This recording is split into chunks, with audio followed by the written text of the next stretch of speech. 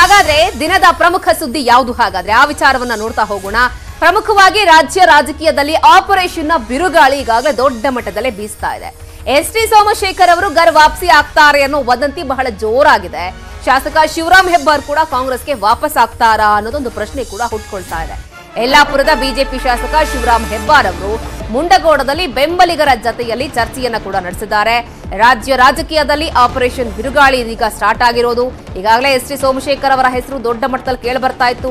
ಅವರ ಹೊರತುಪಡಿಸಿ ಶಾಸಕ ಶಿವರಾಮ್ ಹೆಬ್ಬಾರ್ ಕೂಡ ಕಾಂಗ್ರೆಸ್ಗೆ ಬರ್ತಾರೆ ಅನ್ನೋ ಲೆಕ್ಕಾಚಾರಗಳು ಬೆಳವಣಿಗೆಗಳಾಗ್ತಾ ಇದೆ. ಈಗಾಗಲೇ ಯಲ್ಲಾಪುರದ ಬಿಜೆಪಿ ಶಾಸಕ ಶಿವರಾಮ್ ಹೆಬ್ಬಾರ್ ಏನಿದ್ದಾರೆ ಅವರು ಒಂದು ಸುತ್ತಿನ ಮಾತುಕತೆಯನ್ನ ಕೂಡ ಮುಂಡಗೋಡದಲ್ಲಿ ತಮ್ಮ ಬೆಂಬಲಿಗರ ಜತೆ ನಡೆಸಿದ್ದಾರೆ. ಇದೇ ವಿಚಾರಕ್ಕೆ ಸಂಬಂಧಪಟ್ಟ ಹಾಗೆ ಅನ್ನೋದು ಕೇಳಿ ಬರ್ತಾ ಇದೆ. ಹಾಗಾದ್ರೆ ನಿಜವಾಗ್ಲೂ ಕಾಂಗ್ರೆಸ್ ಸೇರ್ಪಡೆ ಬಗ್ಗೆ ಅವರು ಚರ್ಚೆಯನ್ನ ನಡೆಸಿದ್ರ ಅನ್ನೋದೊಂದು ಪ್ರಶ್ನೆ ಕೂಡ ಹುಟ್ಕೊಳ್ತಾ ಇದೆ. ಸೊ ಮತ್ತೊಂದು ಕಡೆಗೆ ಬೆಂಗಳೂರಿನಲ್ಲೇ ನಾನು ಮಾತನಾಡ್ತೇನೆ ಅಂತ ಹೇಳಿ ಶಿವರಾಮ್ ಹೆಬ್ಬಾರ್ ಅವರು ಹೇಳಿಕೆಯನ್ನ ಕೂಡ ಕೊಟ್ಟಿದ್ದಾರೆ. ಸೊ ಇದೆಲ್ಲ ಬೆಳವಣಿಗೆಗಳನ್ನ ನೋಡ್ತಾ ಇದ್ರೆ ಘರ ವಾಪಸಿ ಶುರುವಾಯ್ತಾ ಅಂತ ಅನ್ನಿಸ್ತಿದೆ. ಅದೇ ಸರ್ ಆ ಸುದ್ದಿಗೆ ತಿರಸ್ಕಾರ ಇಲ್ಲ ಸರ್ ಅದರಿಂದ. ಇದು ಬೆಂಗಳೂರು ಹೋದಾಗ ಚರ್ಚೆ ಮಾಡಿ ಹೇಳ್ತೀನಿ. ಸರ್ ಮುನಿರತ್ನ ಅವ್ರು ಹೇಳ್ರೆ ನನಗೇನ ಬಿಜೆಪಿ ಅವಶ್ಯಕತೆ ಇಲ್ಲ ಏನ ಬಿಜೆಪಿ ಕಾಂಗ್ರೆಸ್ ಅವಶ್ಯಕತೆ ಇಲ್ಲ. ಏನ್ ಹೇಳಿದ್ರೆ ಹೆಂಗೆ? ಏನ್ ಹೇಳಿದಾಗ ನಾ ಏನ್ ಹೇಳ್ತಾರೆ ಅಷ್ಟೇ ಅಲ್ಲ ಅಲ್ಲ ಹಂಗೇನ ನೀವು ಹೇಳಂಗಿಲ್ಲ ನಾ ಏನ್ ಹೇಳ್ತೇನೆ ಅಷ್ಟೇ ಅಲ್ಲ.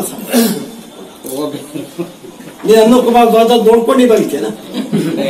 ಮತ್ತೆ ನೀನು ನಿನಗೆ ಇನ್ನು ಸೋಮಶೇಖರ್ ಅವರು ಕೂಡ ನಿನ್ನೆ ತಮ್ಮ ಬೆಂಬಲಿಗರ ಸಭೆಯನ್ನ ನಡೆಸಿದ್ರು. ಈ ಸಭೆಯಲ್ಲಿ ನೆಲಮಂಗಲದ ಕಾಂಗ್ರೆಸ್ನ ಶಾಸಕ ಎನ್ ಶ್ರೀನಿವಾಸ್ ಅವರು ಕೂಡ ಪಾಲ್ಗೊಂಡಿದ್ದು ಅಚ್ಚರಿಯನ್ನ ಮೂಡಿಸಿತ್ತು. ಆದ್ರೆ ಈ ಬಗ್ಗೆ ಪ್ರತಿಕ್ರಿಯೆ ಕೊಟ್ಟರು ಎಸ್ ಟಿ ಸೋಮಶೇಖರ್ ಅವರು. ಯಾವುದೇ ಕಾರಣಕ್ಕೂ ಬಿಜೆಪಿಯನ್ನ ಮಾತ್ರ ಬಿಟ್ಟು ಹೋಗಲ್ಲ ಅಂತಂದ್ರು. ಹಂಡ್ರೆಡ್ ಪರ್ಸೆಂಟ್ ಕಾಂಗ್ರೆಸ್ಗೆ ಹೋಗ್ತಕ್ಕಂಥದ್ದು ಎಲ್ಲೂ ಕೂಡ ಮಾತನಾಡಿಲ್ಲ. ಶಿವಕುಮಾರ್ ಅವರಿಗೆ ನಾನು ನನ್ನ ಕಾನ್ಸ್ಟಿಟ್ಯೂನ್ಸಿ ಡೆವಲಪ್ಮೆಂಟ್ ಬಿಟ್ಟರೆ ಪಾಲಿಟಿಕ್ಸ್ ವಿಚಾರನೂ ಕೂಡ ನಾನೆಲ್ಲೂ ಮಾತನಾಡಿಲ್ಲ. ಹೋಗ್ತೀನಿ ಅಂತಲೂ ಕೂಡ ನಮ್ಮ ಬೆಂಬಲಿಗರಿಗೂ ಕೂಡ ಎಲ್ಲೂ ಕೂಡ ನಾನು ಮಾತನಾಡಿಲ್ಲ. ಅದೆಲ್ಲ ಇವರೇ ಯಾರು ನನ್ನ ವಿರುದ್ಧ ಮಾಡಿದರು ಅವರೇ ಅದನ್ನು ಕ್ರಿಯೇಟ್ ಮಾಡಿದ್ದಾರೆ. ಬಿ ಜೆ ಪಿ ಪಕ್ಷ ಪ್ರಾಮಾಣಿಕವಾಗಿ ಇದ್ದೀನಿ ಮುಂದೆನೂ ಇರ್ತೀನಿ ಅದರಲ್ಲಿ ನೋ ಡೌಟ್ ಇನ್ನು ಇವರುಗಳ ಜತೆಗೆ ಮರಳಿ ಕಾಂಗ್ರೆಸ್ನ ಸೇರ್ತಾರ ಬಿಜೆಪಿಯ ನಾಯಕ ಬಿ ವಿ ನಾಯಕ್ ಅನ್ನೋ ಪ್ರಶ್ನೆ ಕೂಡ ಹುಟ್ಕೊಳ್ತಾ ಇದೆ. ಬಿ ವಿ ನಾಯಕ್ ಅವರನ್ನ ಭೇಟಿ ಮಾಡಿದ್ದಾರೆ ಸಂಸದ ಡಿ ಕೆ ಸುರೇಶ್ ಅವರು. ಈಗಾಗಲೇ ಎಸ್ ಟಿ ಸೋಮಶೇಖರ್ ಅವರು, ಶಿವರಾಮ್ ಹೆಬ್ಬಾರ್ ಅವರು, ಅವರಿಬ್ಬರ ಜೊತೆಗೆ ಬಿ ವಿ ನಾಯಕ್ ಅವರ ಹೆಸರು ಕೂಡ ಕೇಳಿ ಬರ್ತಾ ಇದೆ. ಬಿ ವಿ ನಾಯಕ್ ಅವರನ್ನ ಸಂಸದ ಡಿ ಕೆ ಸುರೇಶ್ ಅವರು ಭೇಟಿ ಮಾಡಿದ್ದಾರೆ. ಹಾಗಾಗಿ ಕುತೂಹಲ ಮೂಡಿಸಿದೆ. ಡಿ ಕೆ ಸುರೇಶ್ ಹಾಗೆ ಬಿ ವಿ ನಾಯಕ್ ಅವರ ಭೇಟಿ. ಮಾನ್ವಿ ಕ್ಷೇತ್ರದ ಬಿಜೆಪಿಯ ಪರಾಜಿತ ಅಭ್ಯರ್ಥಿ ಬಿ ವಿ ನಾಯಕ್ ಅವರು. ಕಾಂಗ್ರೆಸ್ನ ಶಾಸಕ ರಾಜಾ ವೆಂಕಟಪ್ಪ ಅವರ ನೇತೃತ್ವದಲ್ಲಿ ಭೇಟಿಯಾಗಿದೆ. ಸುರಪುರದ ಕಾಂಗ್ರೆಸ್ನ ಶಾಸಕ ರಾಜಾ ವೆಂಕಟಪ್ಪ ನಾಯಕ ಅವರು ಸುರೇಶ್ ಅವರನ್ನು ಕರೆದುಕೊಂಡು ಹೋಗು ಹೋಗಿ ಮಧ್ಯಸ್ಥಿಕೆಯಲ್ಲಿ ಬಿವಿ ನಾಯಕರನ್ನ ಭೇಟಿ ಮಾಡಿದ್ದಾರೆ. ಈ ಹಿಂದೆ ರಾಯಚೂರು, ಯಾದಗಿರಿ ಕ್ಷೇತ್ರದಿಂದ ಲೋಕಸಭೆಗೆ ಕಾಂಗ್ರೆಸ್ನಿಂದ ಗೆದ್ದು ಆಯ್ಕೆಯಾಗಿದ್ದು ಇದೇ ಬಿವಿ ನಾಯಕ್ ಅವರು. ಆದರೆ ವಿಧಾನಸಭಾ ಚುನಾವಣೆ ಸಂದರ್ಭದಲ್ಲಿ ಬಿಜೆಪಿಯನ್ನು ಸೇರ್ಕೊಳ್ತಾರೆ ಬಿವಿ ನಾಯಕ್ ಅವರು. ನಿನ್ನೆ ಇದ್ದಕ್ಕಿದ್ದ ಹಾಗೆ ಅದೇ ಬಿವಿ ನಾಯಕರನ್ನ ಡಿ ಕೆ ಸುರೇಶ್ ಅವರು ಭೇಟಿಯಾಗಿದ್ದಾರೆ. ಇದೆಲ್ಲ ಬೆಳವಣಿಗೆಗಳನ್ನ ನೋಡ್ತಾ ಇದ್ರೆ ಮರಳಿ ವಾಪಸ್ ಗೂಡಿಗೆ ಬರ್ತಾರಾ ಹಾಗಾದ್ರೆ ಬಿ ವಿ ನಾಯಕ್ ಅವರು ಕೂಡ ಅಂತ ಅನ್ನಿಸ್ತಾ ಇದೆ. ನೋಡ್ಬೇಕು, ಏನೇನ್ ಲೆಕ್ಕಾಚಾರಗಳು, ಯಾವ್ಯಾವ ರೀತಿಯಾದಂತಹ ಬದಲಾವಣೆಯ ಪರ್ವ ಅಥವಾ ಗಾಳಿ ಬೀಸತ್ತೆ ಅಂತ. ನೋಡಿ ನಿನ್ನೆ ದಿಢೀರ್ ಅಂತ ಡಿ ಕೆ ಸುರೇಶ್ ಅವರನ್ನ ಭೇಟಿಯಾದ್ರು, ವಿ ವಿ ನಾಯಕ್ ಅವರನ್ನ ಹೋಗಿ, ರಾಜಾ ವೆಂಕಟಪ್ಪ ನಾಯಕ್ ಅವರು ಕೂಡ ಹೋಗಿದ್ರು. ಮಾನ್ವಿ ಕ್ಷೇತ್ರದ ಬಿಜೆಪಿಯ ಪರಾಜಿತ ಅಭ್ಯರ್ಥಿ ಬಿ ವಿ ನಾಯಕ್ ಅವರು. ಈ ಹಿಂದೆ ರಾಯಚೂರು ಯಾದಗಿರಿ ಕ್ಷೇತ್ರದಿಂದ ಲೋಕಸಭೆಗೆ ಆಯ್ಕೆಯಾಗಿದ್ದಂಥವರು ಕಾಂಗ್ರೆಸ್ ಪಕ್ಷದಿಂದಲೇ. ಆದರೆ ಸಡನ್ ಆಗಿ ಕಾಂಗ್ರೆಸ್ನಿಂದ ಗೆದ್ದು ಸಂಸದರಾಗಿದ್ದಂಥ ಬಿ ವಿ ನಾಯಕ್ ಅವರು ಕಳೆದ ಬಾರಿ ವಿಧಾನಸಭಾ ಎಲೆಕ್ಷನ್ನಲ್ಲಿ, ಸೊ, ಬಿಜೆಪಿಯನ್ನು ಸೇರ್ಕೊಂಡ್ಬಿಡ್ತಾರೆ. ಸೊ, ಅಲ್ಲಿ ಸೋಲ್ತಾರೆ. ಈಗ ನೋಡಿದ್ರೆ ಮತ್ತೊಮ್ಮೆ ಡಿ ಕೆ ಸುರೇಶ್ ಅವರು ಹೋಗಿ ಮಾತುಕತೆಯನ್ನು ನಡೆಸಿರೋದನ್ನ ನೋಡ್ತಾ ಇದ್ರೆ, ಎಲ್ಲ ಒಂದು ಕಡೆಗೆ ವಾಪಸ್ ಬರಲಿಕ್ಕೆ ಆಹ್ವಾನವನ್ನ ಕೊಟ್ರ? ಸೊ, ಆ ನಿಟ್ಟಿನಲ್ಲಿ ಬೆಳವಣಿಗೆಗಳಾಗ್ತಾ ಇದೆಯಾ ಅನ್ನೋದೊಂದು ಪ್ರಶ್ನೆಗಳು ಕೂಡ ಬರ್ತಾ ಇದೆ.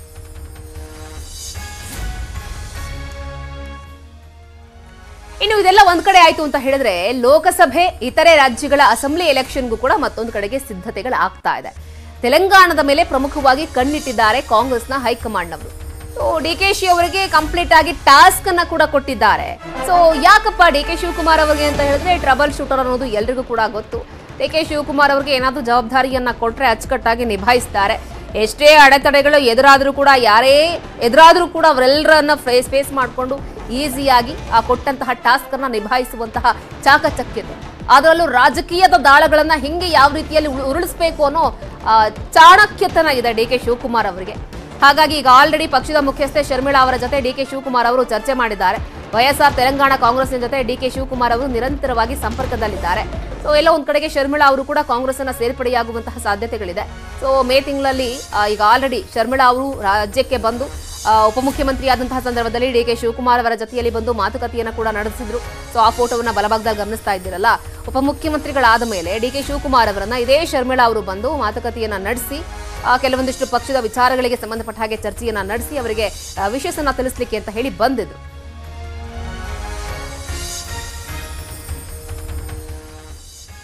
ಹಾಗಾದ್ರೆ ಡಿ ಕೆ ಶಿವಕುಮಾರ್ ಅವರಿಗೆ ಯಾವ ರೀತಿಯಾಗಿ ತೆಲಂಗಾಣದ ಟಾಸ್ಕ್ ಅನ್ನ ಕಾಂಗ್ರೆಸ್ನ ಹೈಕಮಾಂಡ್ ಕೊಟ್ಟಿದೆ? ಹಾಗಾದ್ರೆ ಯಾವ ಜವಾಬ್ದಾರಿಗಳನ್ನ ಕೊಟ್ಟಿದೆ? ಆ ವಿಚಾರವನ್ನ ಕೂಡ ಕೆಲವೊಂದಿಷ್ಟು ವಿಚಾರಗಳನ್ನ ನೋಡ್ತಾ ಹೋಗ್ಬಿಡೋಣ. ಸೊ ಡಿ ಕೆ ಶಿವಕುಮಾರ್ ಅವರ ಹೆಗಲಿಗೆ ಯಾವ ರೀತಿಯಾದಂತಹ ಜವಾಬ್ದಾರಿಗಳು ಅಂತ ಡಿ ಕೆ ಶಿಗೆ ತೆಲಂಗಾಣದಲ್ಲಿ ಕಾಂಗ್ರೆಸ್ ಅನ್ನ ಗೆಲ್ಲಿಸಲೇಬೇಕು ಶತಾಯಗತಾಯ ಅನ್ನೋ ಒಂದು ಟಾಸ್ಕ್ ಅನ್ನ ಕೊಟ್ಟಿದ್ದಾರೆ. ಕಾರಣ ಏನಪ್ಪಾ ಅಂತ ಹೇಳಿದ್ರೆ ಈ ಬಾರಿಯ ನಮ್ಮ ರಾಜ್ಯದ ವಿಧಾನಸಭಾ ಎಲೆಕ್ಷನ್ನಲ್ಲಿ ಅಧಿಕಾರಕ್ಕೆ ಕಾಂಗ್ರೆಸ್ ಬರಲಿಕ್ಕೆ ಡಿ ಕೆ ಶಿವಕುಮಾರ್ ಅವರ ಪಾಲು ಬಹಳ ದೊಡ್ಡ ಮಟ್ಟದಲ್ಲಿದೆ. ಅವರ ಪಾತ್ರ ಕೂಡ ಬಹಳ ದೊಡ್ಡ ಮಟ್ಟದಲ್ಲಿದೆ. ಹಾಗಾಗಿ ವೈಎಸ್ಆರ್ ನಲ್ಲೂ ಕೂಡ, ಅಂದ್ರೆ ಆ ತೆಲಂಗಾಣ ಭಾಗದಲ್ಲೂ ಕೂಡ ಕಾಂಗ್ರೆಸ್ ಅನ್ನ ಗೆಲ್ಲಿಸಬೇಕು ಅನ್ನೋ ತೀರ್ಮಾನದ ಜವಾಬ್ದಾರಿಯನ್ನ ಡಿಕೆಶಿ ಅವರ ಹೆಗಲಿಗೆ ವಹಿಸಲಾಗಿದೆ. ಹಾಗಾಗಿ ಡಿ ಕೆ ಶಿವಕುಮಾರ್ ಅವರು ಕೂಡ ನಿರಂತರವಾಗಿ ಸಂಪರ್ಕದಲ್ಲಿದ್ದಾರೆ. ಪ್ರಮುಖವಾಗಿ ಪಕ್ಷದ ಮುಖ್ಯಸ್ಥೆ ಶರ್ಮಿಳಾ ಅವರ ಜೊತೆಗೆ ಡಿ ಕೆ ಶಿವಕುಮಾರ್ ಅವರು ಚರ್ಚೆಯನ್ನು ಕೂಡ ನಡೆಸಿದ್ದಾರೆ. ಶರ್ಮಿಳಾ ಅವರು ಕಾಂಗ್ರೆಸ್ ಸೇರ್ಪಡೆಯಾಗುವಂತಹ ಸಾಧ್ಯತೆಗಳು ಕೂಡ ಬಹಳ ದೊಡ್ಡ ಮಟ್ಟದಲ್ಲಿ ಕಂಡು ಬರ್ತಾ ಇದೆ. ಆಂಧ್ರದ ಮಾಜಿ ಸಿಎಂ ವೈಎಸ್ ರಾಜಶೇಖರ್ ರೆಡ್ಡಿ ಅವರ ಪುತ್ರಿ ಇದೇ ಶರ್ಮಳಾ ಅವರು. ಈ ಹಿಂದೆ ಕೂಡ ಬೆಂಗಳೂರಿಗೆ ಬಂದು ಡಿಕೆ ಶಿವಕುಮಾರ್ ಅವರನ್ನ ಭೇಟಿಯಾಗಿ ಹೋಗಿದ್ರು. ಆಂಧ್ರದ ಹಾಲಿ ಸಿಎಂ ಜಗನ್ಮೋಹನ್ ರೆಡ್ಡಿ ಅವರ ಸಹೋದರಿ ಕೂಡ ಹೌದು. ಹಾಗಾಗಿ ಅವರು ಕಾಂಗ್ರೆಸ್ಗೆ ಮತ್ತೊಮ್ಮೆ ಸೇರ್ಪಡೆಯಾಗುವಂತಹ ಸಾಧ್ಯತೆಗಳು ಕೂಡ ಕಂಡು ಬರ್ತಾ ಇದೆ. ಆ ನಿಟ್ಟಿನಲ್ಲೇ ಈಗ ಆಲ್ರೆಡಿ ವೈಎಸ್ ಶರ್ಮಿಳಾ ಅವರು ಸಪರೇಟ್ ಆಗಿ ಪಕ್ಷವನ್ನ ತೆಲಂಗಾಣದಲ್ಲಿ ಸ್ಥಾಪಿಸಿಕೊಂಡಿದ್ದಾರೆ. ಹಾಗಾಗಿ ಶರ್ಮಿಳಾ ಪಕ್ಷ ಸ್ಥಾಪನೆ ಮಾಡಿರೋದ್ರಿಂದ ಕೈ ಮತಗಳು ವಿಭಜನೆಯಾಗುತ್ತೆ. ಯಾಕಂದ್ರೆ ಒಂದ್ ರೀತಿ ಸಹೋದರರ ಸವಾಲ್ ಅನ್ನೋ ರೀತಿಯಲ್ಲಿ ಒಂದ್ ಕಡೆ ಸಹೋದರಿ ಮತ್ತೊಂದ್ ಕಡೆಗೆ ಸಹೋದರ. ಸೊ ಹಾಗಾಗಿ ಇವರಿಬ್ರು ಕೂಡ ಒಂದೇ ಪಕ್ಷದಲ್ಲಿ ಇತ್ತು ಅಂತ ಹೇಳಿದ್ರೆ ಆಬ್ವಿಯಸ್ಲಿ ಮತಗಳು ಕೂಡ ಕ್ರೋಢೀಕರಣ ಆಗುತ್ತೆ ಅನ್ನೋ ಲೆಕ್ಕಾಚಾರ. ಕಾಂಗ್ರೆಸ್ಗೆ ವಾಪಸ್ ಆದರೆ ಪಕ್ಷಕ್ಕೆ ಶಕ್ತಿ ಹೆಚ್ಚಾಗುವಂತಹ ಸಾಧ್ಯತೆಗಳು ಕೂಡ ಕಂಡು ಬರ್ತಾ ಇದೆ. ಹಾಗಾಗಿ ಎಲ್ಲೋ ಒಂದು ಕಡೆಗೆ ಸೊ ಕಾಂಪ್ರಮೈಸ್ ಮಾಡಿಸುವಂತಹ ರಾಜಕೀಯವನ್ನ ಇಲ್ಲಿ ಮಾಡಲಾಗ್ತಾ ಇದೆ ಅಂತ ಕೂಡ ಹೇಳಲಾಗ್ತಾ ಇದೆ. ಕಾಂಗ್ರೆಸ್ಗೆ ಶರ್ಮಿಳಾ ಅವರು ವಾಪಸ್ ಆಯಿತು ಅಂತ ಹೇಳಿದ್ರೆ ಸೊ ಕಾಂಗ್ರೆಸ್ನ ಬಲ ಮತ್ತಷ್ಟು ಜಾಸ್ತಿ ಆಗುತ್ತೆ ಅನ್ನೋ ಲೆಕ್ಕಾಚಾರಗಳಿದೆ. ಆ ಹಿನ್ನೆಲೆಯಲ್ಲಿ ನಿರಂತರವಾಗಿ ಸಂಪರ್ಕದಲ್ಲಿದ್ದಾರೆ. ಇದು ಒಂದು ಕಡೆಗೆ ಡಿ ಕೆ ಶಿವಕುಮಾರ್ ಅವರಿಗೆ ಕಾಂಗ್ರೆಸ್ನ ಹೈಕಮಾಂಡ್ ವಹಿಸಿರುವಂತಹ ಒಂದು ಜವಾಬ್ದಾರಿ ಆಯಿತು ಅಂತ ಹೇಳಿದ್ರೆ ಇಲ್ಲಿ ಕಾಂಗ್ರೆಸ್ ಮಾತ್ರ ತೆಲಂಗಾಣವನ್ನ ಕಾನ್ಸಂಟ್ರೇಟ್ ಮಾಡ್ತಾ ಇಲ್ಲ. ಬಿಜೆಪಿಯವರು ಕೂಡ ತೆಲಂಗಾಣದ ಟಾಸ್ಕ್ ಅನ್ನ ವಹಿಸಿಕೊಳ್ಳಿಕ್ಕೆ ಮುಂದಾಗಿದ್ದಾರೆ. ಸೊ ಅರವತ್ತಾರು ಬಿಜೆಪಿಯ ಶಾಸಕರು ಪರಿಷತ್ನ ಸದಸ್ಯರಿಗೆ ಇದೀಗ ಬಿಜೆಪಿಯ ಹೈಕಮಾಂಡ್ ಟಾಸ್ಕ್ ಅನ್ನ ಕೊಟ್ಟಿದೆ. ಸೊ ತೆಲಂಗಾಣದ ಟಾಸ್ಕ್ ಒಂದ್ ಕಡೆಗೆ ಕಾಂಗ್ರೆಸ್ನವರು ಡಿ ಕೆ ಶಿವಕುಮಾರ್ ಅವರಿಗೆ ವಹಿಸಿದ್ರೆ ಬಿಜೆಪಿಯವ್ರಿಗೂ ಕೂಡ ಬಿಜೆಪಿಯ ಹೈಕಮಾಂಡ್ ತೆಲಂಗಾಣದ ಗ್ರೌಂಡ್ ರಿಪೋರ್ಟ್ ಅನ್ನ ಚೆಕ್ ಮಾಡೋದಕ್ಕೆ ಟಾಸ್ಕ್ ಅನ್ನ ಕೊಟ್ಟಿದೆ. ಕಾಂಗ್ರೆಸ್ನವ್ರು ಮಾತ್ರ ಅಲ್ಲ ಸೊ ಒಟ್ಟಾರೆ ತೆಲಂಗಾಣದ ರಾಜಕೀಯವನ್ನ ಕೂಡ ಬಹಳ ಸೀರಿಯಸ್ ಆಗಿ ಎರಡೂ ಹೈಕಮಾಂಡ್ಗಳು ಒಂದ್ ಕಡೆ ಬಿಜೆಪಿ ಹೈಕಮಾಂಡ್ ಮತ್ತೊಂದು ಕಡೆಗೆ ಕಾಂಗ್ರೆಸ್ನ ಹೈಕಮಾಂಡ್ ಎರಡೂ ಹೈಕಮಾಂಡ್ಗಳು ಕೂಡ ತೆಲಂಗಾಣವನ್ನ ಬಹಳ ಸೀರಿಯಸ್ ಆಗಿ ತೆಗೆದುಕೊಂಡಿದೆ. ಹಾಗಾಗಿ ತೆಲಂಗಾಣದ ಟಾಸ್ಕ್ ಅನ್ನ ಪ್ರಮುಖ ನಾಯಕರುಗಳಿಗೆ ಆ ಜವಾಬ್ದಾರಿಯನ್ನ ವಹಿಸ್ತಾ ಇದೆ. ಪ್ರಮುಖವಾಗಿ ಕರ್ನಾಟಕದ ಶಾಸಕರುಗಳಿಗೆ, ನಾಯಕರುಗಳಿಗೆ ಆಯಾಯ ಜವಾಬ್ದಾರಿಯನ್ನ ಕೊಟ್ಟಿದ್ದಾರೆ. ಒಂದು ಕಡೆಗೆ ಕಾಂಗ್ರೆಸ್ನಿಂದ, ಸೊ ಡಿ ಕೆ ಶಿವಕುಮಾರ್ ಅವರ ಹೆಗಲಿಗೆ ಸಂಪೂರ್ಣ ಜವಾಬ್ದಾರಿ ಹೋಗಿದ್ರೆ, ಮತ್ತೊಂದು ಕಡೆಗೆ ಬಿಜೆಪಿಯ ಕಡೆಯಿಂದಲೂ ಕೂಡ ಒಂದು ಅರವತ್ತು ಪ್ರಮುಖ ನಾಯಕರುಗಳಿಗೆ, ಶಾಸಕರುಗಳಿಗೆ, ಪರಿಷತ್ನ ಸದಸ್ಯರಿಗೆ ಆ ಟಾಸ್ಕ್ ಅನ್ನ ಕೊಟ್ಟಿದೆ. ಹಾಗಾದ್ರೆ ಬಿಜೆಪಿ ಅವರು ಕೊಟ್ಟಿರುವಂತಹ, ಬಿಜೆಪಿ ನಾಯಕರಿಗೆ ಬಿಜೆಪಿ ಹೈಕಮಾಂಡ್ ಯಾವ ರೀತಿಯಾದಂತಹ ಟಾಸ್ಕ್ ಅನ್ನ ಕೊಟ್ಟಿದೆ ಹಾಗಾದ್ರೆ ಆ ಆ ವಿಚಾರಗಳನ್ನ ಕೂಡ ಗಮನ ಹರಿಸ್ತಾ ಹೋಗ್ಬಿಡೋಣ.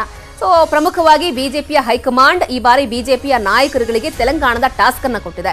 ತೆಲಂಗಾಣಕ್ಕೆ ಹೋಗಬೇಕು, ಅಲ್ಲಿ ಗ್ರೌಂಡ್ ರಿಯಾಲಿಟಿ ಚೆಕ್ ಅನ್ನ ನಡೆಸಬೇಕು, ಆ ರಿಪೋರ್ಟ್ ಅನ್ನ ಕೊಡಬೇಕು ಅನ್ನೋ ದೊಡ್ಡ ಮಟ್ಟದ ಟಾಸ್ಕ್ ಅನ್ನ ಕೊಟ್ಟಿದ್ದಾರೆ. ತೆಲಂಗಾಣಕ್ಕೆ ಹೋಗಿ ಅಲ್ಲಿ ಗ್ರೌಂಡ್ ಚೆಕ್ ಅನ್ನ ಗ್ರೌಂಡ್ ರಿಯಾಲಿಟಿ ಚೆಕ್ ಅನ್ನ ನಡೆಸಬೇಕು. ಇವತ್ತಿನಿಂದ ಹತ್ತು ದಿನಗಳ ಕಾಲ ರಾಜ್ಯ ಬಿಜೆಪಿ ನಾಯಕರುಗಳ ಪ್ರವಾಸ ತೆಲಂಗಾಣದ ಕಡೆ ನಡೆಯುತ್ತೆ. ಇವತ್ತಿನಿಂದ ಹತ್ತು ದಿನಗಳ ಕಾಲ ಡೆಡ್ಲೈನ್ ಅನ್ನು ಕೂಡ ಬಿಜೆಪಿಯ ಹೈಕಮಾಂಡ್ ಕೊಟ್ಟಿದೆ. ಹಾಗಾಗಿ ಇವತ್ತಿನ ದಿನದಿಂದಲೇ ಹತ್ತು ದಿನಗಳ ಕಾಲ ರಾಜ್ಯದ ಬಿಜೆಪಿ ನಾಯಕರು ತೆಲಂಗಾಣದಲ್ಲೇ ವಾಸ್ತವ್ಯವನ್ನು ಹೂಡ್ತಾರೆ. ತೆಲಂಗಾಣ ರಾಜ್ಯದ ವಿವಿಧ ಜಿಲ್ಲೆಗಳಲ್ಲಿ ಪ್ರವಾಸವನ್ನು ಕೂಡ ಕೈಗೊಳ್ತಾರೆ.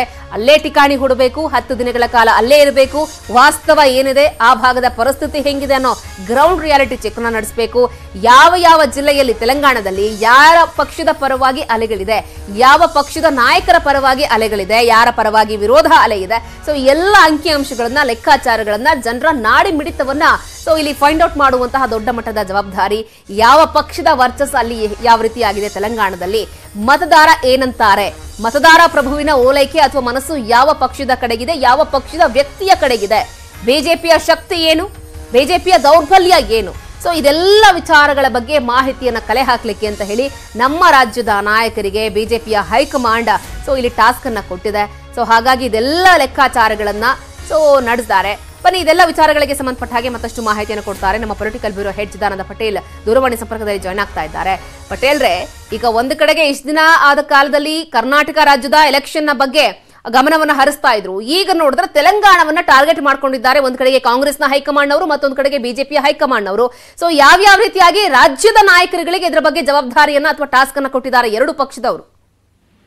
ಪೃಥ್ವಿರಾಜ್ ತೆಲಂಗಾಣ ಚುನಾವಣೆಯ ಹಿನ್ನೆಲೆಯಲ್ಲಿ ವಿಧಾನಸಭೆ ಚುನಾವಣೆ ಹಿನ್ನೆಲೆಯಲ್ಲಿ ಕರ್ನಾಟಕದ ಭಾರತೀಯ ಜನತಾ ಪಕ್ಷದ ಶಾಸಕರು ಮತ್ತು ವಿಧಾನ ಪರಿಷತ್ನ ಕೆಲವು ಪ್ರಮುಖ ಸದಸ್ಯರುಗಳಿಗೆ ಬಿಜೆಪಿ ರಾಷ್ಟ್ರೀಯ ಅಧ್ಯಕ್ಷ ಜೆ ಪಿ ನಡ್ಡಾ ಅವರು ಒಂದು ಟಾಸ್ಕ್ ಅನ್ನು ಕೊಟ್ಟಿರುವಂತದ್ದು.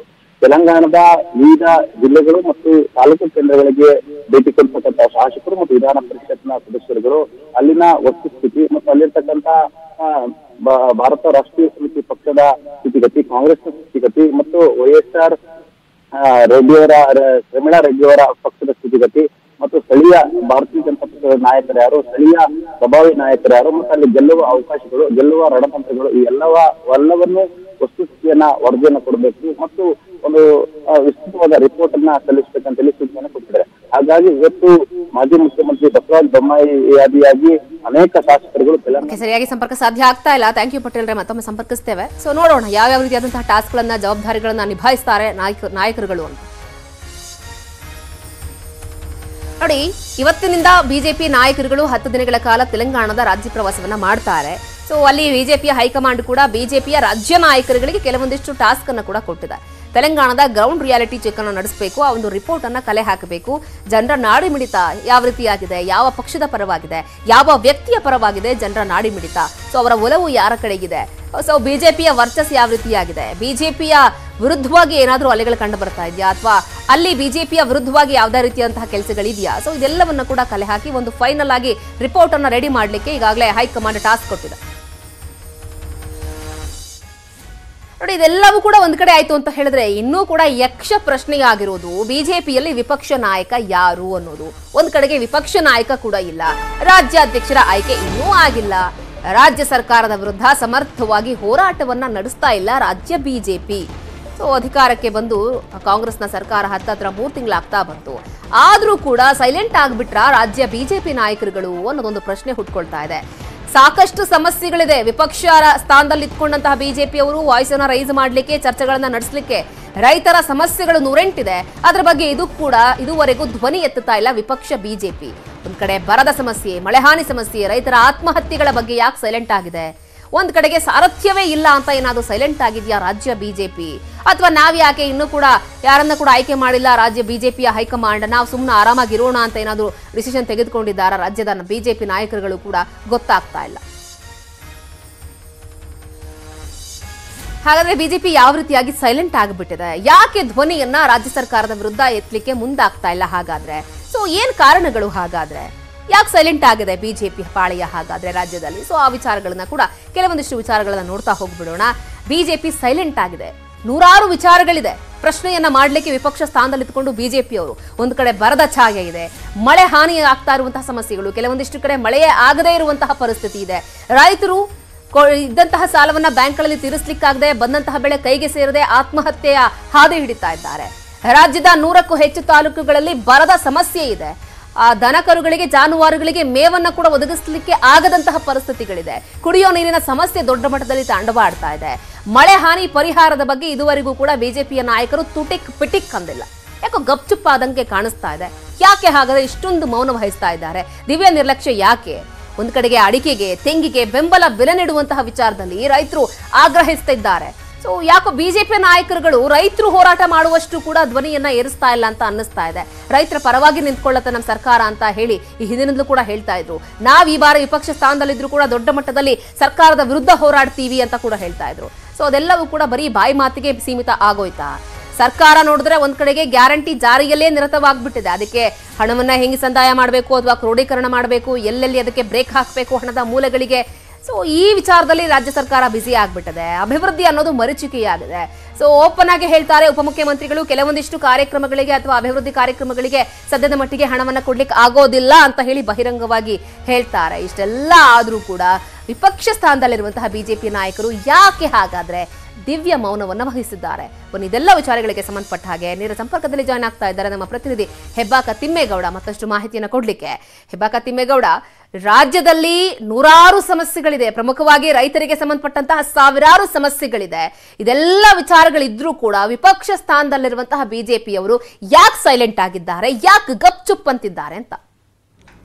ಶ್ರುತಿ ಭಾಳ ಮುಖ್ಯವಾಗಿ ಸರ್ಕಾರದಲ್ಲಿ ಏನು ಆಡಳಿತಾರೂಢ ಸರ್ಕಾರದ ಪಾತ್ರ ಎಷ್ಟಿರುತ್ತೋ, ವಿರೋಧ ಪಕ್ಷದ ಸ್ಥಾನವೂ ಕೂಡ ಅಷ್ಟೇ ಭಾಳ ಮುಖ್ಯವಾಗುತ್ತೆ.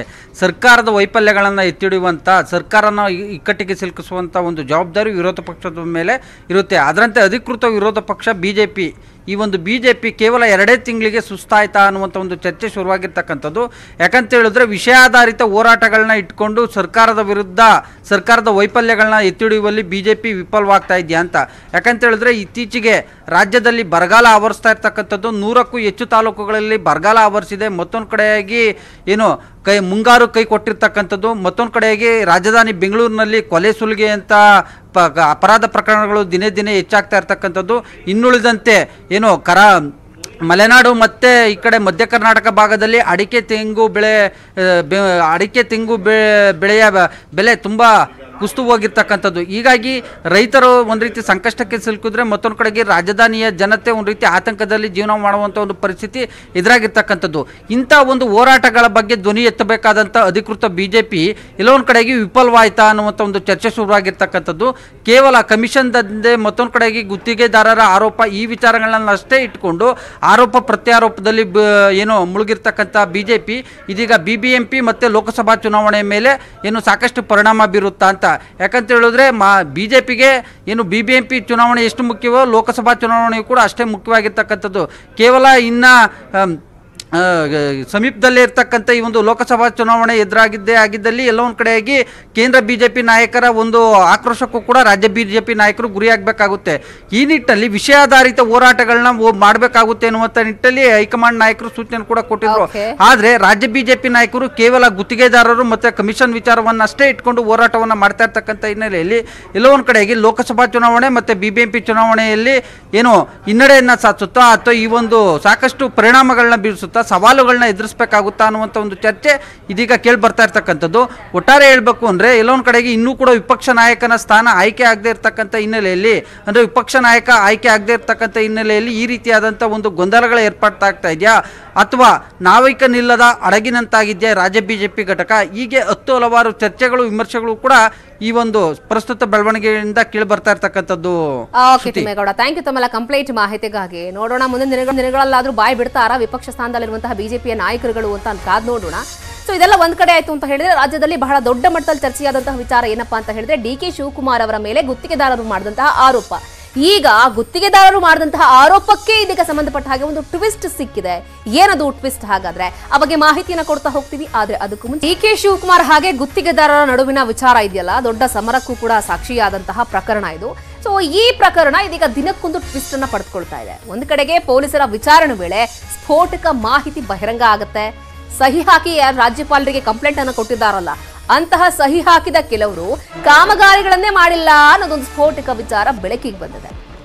ಡಿ ಕೆ ಶಿ ಗುತ್ತಿಗೆದಾರರ ನಡುವಣ ಸಮರಕ್ಕೆ ಪ್ರತಿನಿತ್ಯ ಒಂದೊಂದು ಟ್ವಿಸ್ಟ್ ಸಿಗ್ತಾ ಇದೆ. ಒಂದು ಸಲ ಕೆಲವೊಂದಿಷ್ಟು ಜನ ಡಿ ಕೆ ಶಿ ವಿರುದ್ಧ ಆರೋಪ ಮಾಡ್ತಾರೆ. ಇನ್ನು ಕೆಲವೊಂದಿಷ್ಟು ಜನ ಅವರ ಮೇಲೆ ನಂಬಿಕೆ ಇದೆ. ಅವ್ರು ಬಿಲ್ ಕ್ಲಿಯರ್ ಮಾಡ್ಕೊಡ್ತಾರೆ ಅಂತ ಹೇಳಿ ಅವರ ಪರವಾಗಿ ಬ್ಯಾಡ್ ಬೆಸುವಂತವರಿದ್ದಾರೆ ಇನ್ನು ಕೆಲವೊಂದಿಷ್ಟು ಜನ ಹೋಗ್ಬಿಟ್ಟು ರಾಜ್ಯಪಾಲರಿಗೆ ಕಂಪ್ಲೇಂಟ್ ಅನ್ನ ಕೊಟ್ಟರು ನಮಗೆ ಬಾಕಿ ಬಿಲ್ ಮಾಡ್ಕೊಡ್ಲಿಕ್ಕೆ ಅವಕಾಶವನ್ನ ಮಾಡ್ಕೊಡಿ, ನೀವು ಹೇಳಿ ಅಂತ ಹೇಳಿ. ಸೊ ಡಿ ಕೆ ಶಿಯ ವಿರುದ್ಧವೇ ಪತ್ರವನ್ನ ಬರೆದಿದ್ದು ರಾಜ್ಯಪಾಲರಿಗೆ. ಸುಮಾರು ಐವತ್ತೇಳು ಮಂದಿ ಗುತ್ತಿಗೆದಾರರು ಪತ್ರವನ್ನ ಬರೆದು ಕಳಿಸಿದ್ರು. ಅದರಲ್ಲಿ ಹತ್ತೊಂಬತ್ತು ಮಂದಿ ಏನ್ ಸಹಿ ಹಾಕಿದ್ದಾರೆ ಗುತ್ತಿಗೆದಾರರು? ನಮಗೆ ಬಾಕಿ ಬಿಲ್ ಬರಬೇಕು ಅಂತ ಹೇಳಿ ಅವ್ರು ಯಾರು ಕೂಡ ಕಾಮಗಾರಿಗಳನ್ನೇ ಮಾಡಿಲ್ವಂತೆ. ಹೈಗ್ರೌಂಡ್ಸ್ ಠಾಣೆ ಪೊಲೀಸರು ವಿಚಾರಣೆ ಮಾಡ್ತಾ ಇದ್ದು, ಈ ವೇಳೆ ಹತ್ತೊಂಬತ್ತು ಮಂದಿ ಕಾಮಗಾರಿಗಳನ್ನೇ ಮಾಡದೇ ಇರುವುದು ಬೆಳಕಿಗೆ ಬಂದಿದೆ. ಬನ್ನಿ, ವಿಚಾರಕ್ಕೆ ಸಂಬಂಧಪಟ್ಟ ಹಾಗೆ ಮತ್ತಷ್ಟು ಮಾಹಿತಿಯನ್ನು ಕೊಡ್ತಾರೆ ನಮ್ಮ ಪ್ರತಿನಿಧಿ ಮುನಿರಾಜು. ಜಾಯ್ನ್ ಆಗ್ತಾ ಇದ್ದಾರೆ. ಮುನಿರಾಜು ಡಿ ಕೆ ಶಿವಕುಮಾರ್ ಅವರ ವಿರುದ್ಧ ಗುತ್ತಿಗೆದಾರರು ಆರೋಪವನ್ನ ಮಾಡಿದ್ರು. ರಾಜ್ಯಪಾಲರಿಗೂ ಕೂಡ ಕಂಪ್ಲೇಂಟ್ ಅನ್ನ ಕೊಟ್ಟರು ಐವತ್ತೇಳು ಮಂದಿ ಸಹಿಯನ್ನ ಹಾಕೋದ್ರ ಮುಖಾಂತರ. ಈಗ ನೋಡಿದ್ರೆ ಆ ಸಹಿಯನ್ನ ಹಾಕಿರುವಂತಹ ಕೆಲವೊಂದಿಷ್ಟು ಗುತ್ತಿಗೆದಾರರು ಕಾಮಗಾರಿಗಳನ್ನೇ ಮಾಡಿಲ್ಲ ಅಂತ ಹೇಳಿದಾಗ ಅವ್ರ ಸಹಿಯನ್ನ ಹೆಂಗ್ ಹಾಕ್ಲಿಕ್ಕೆ ಬರುತ್ತೆ? ಏನಾಗ್ತಾ ಇದೆ ಅಂತ.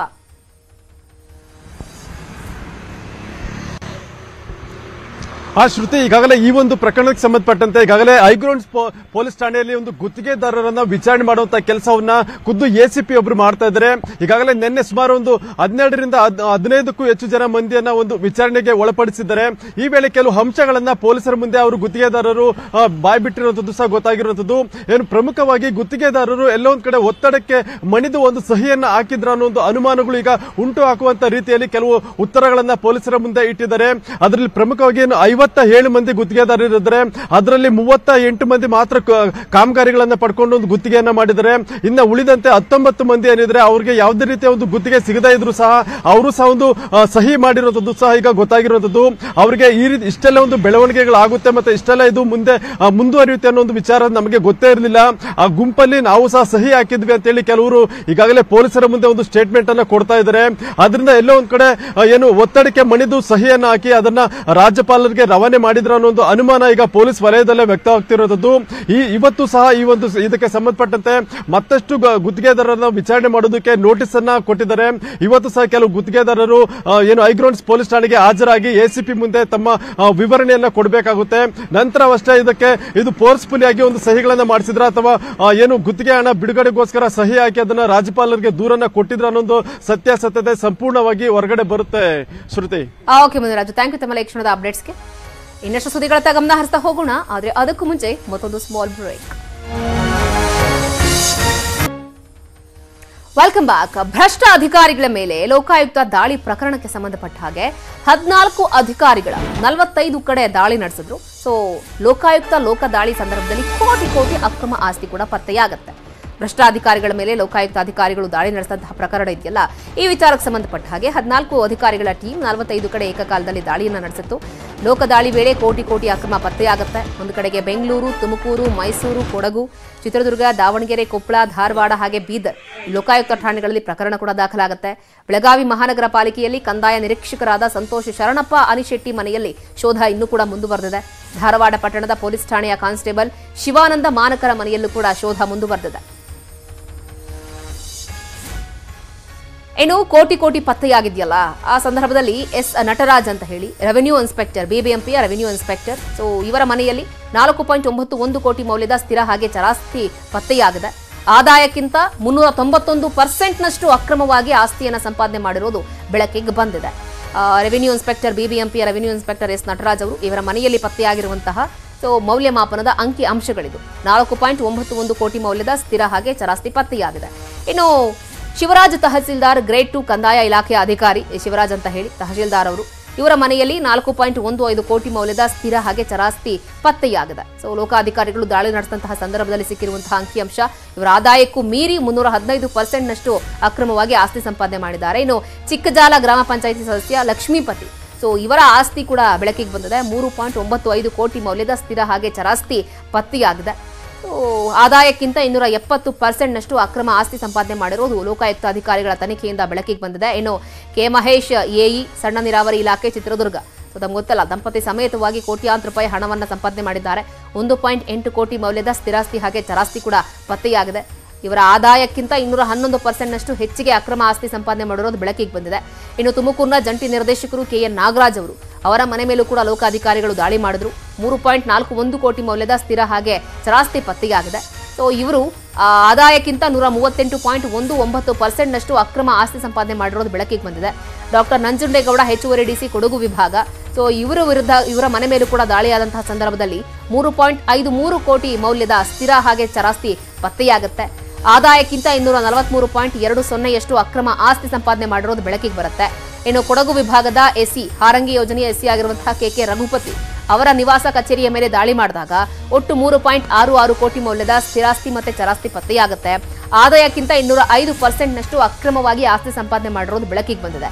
ಇನ್ನು ಭದ್ರಾವತಿ ವಲಯ ಅರಣ್ಯಾಧಿಕಾರಿ ಆಗಿರುವಂತಹ ಎಸ್ ಸತೀಶ್ ಅವರ ಮನೆ ಮೇಲೆ ಲೋಕಾಧಿಕಾರಿಗಳು ದಾಳಿ ನಡೆಸಿದಂತಹ ಸಂದರ್ಭದಲ್ಲಿ ಒಂದು ಪಾಯಿಂಟ್ ಆರು ಎರಡು ಕೋಟಿ ಮೌಲ್ಯದ ಸ್ಥಿರಾಸ್ತಿ ಹಾಗೆ ಚರಾಸ್ತಿ ಪತ್ತೆಯಾಗುತ್ತೆ.